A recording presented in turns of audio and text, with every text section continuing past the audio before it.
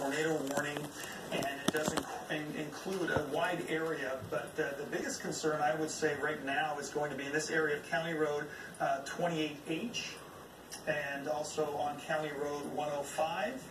And if you live in any of these areas, Well, I just saw some lightning flashes here, Dad. eastern portion of uh, Davis, El Macero, Webster areas, you go out towards the causeway. That would be the greatest concern. Oh, no.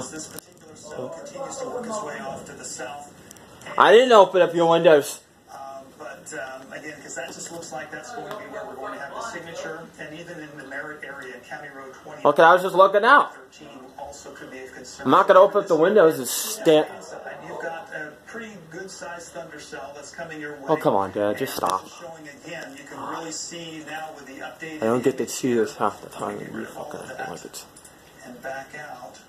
Oh, this boy. just shows you the direction that things are, are spinning. So you have um, this particular cell, Where? and it looks like the, the air is kind of coming in and wrapping around, um, whether it's rotating uh, this way.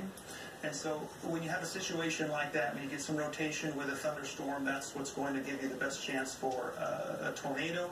And as far as tornadoes go, I would say the best chance for that spawning would be right there.